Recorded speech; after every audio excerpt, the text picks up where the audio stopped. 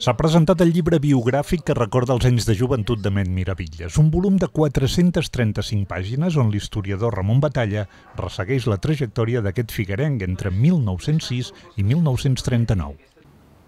Era un, un, un analista, un pensador dels temes polítics i culturals mm, brillant. Eh, era un home amb una gran capacitat de comunicació, tant a nivell escrit. Tenia una gran facilitat, per exemple, per escriure. Eh? Jo he vist llibretes seves on feia els seus articles, que tu pots veure un article de dalt a baix, des del principi fins al final, pràcticament sense cap correcció. És a dir, li anaven sortint les frases tal com després sortia l'article.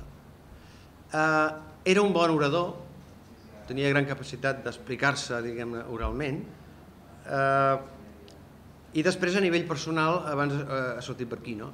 era un home molt, molt xarmant, era un home doncs, eh, agradable, un home doncs, eh, amb molta facilitat per, per, per ser simpàtic, per explicar acudits, per explicar coses interessants. No?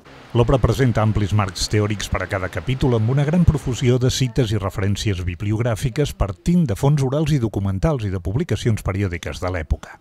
És un d'aquests eh, figuerencs eh, universals se l'ha conegut molt per la seva vinculació amb Dalí, se l'ha conegut molt també per la seva, la seva feina al capdavant del Comitè de Propaganda de la Generalitat durant la Guerra Civil, però jo també penso que és un personatge sobre el que calia aprofundir més, calia conèixer amb més profunditat des del punt de vista doncs, com d'un figuerenc i també com a, com a persona vinculada al món de la intel·lectualitat.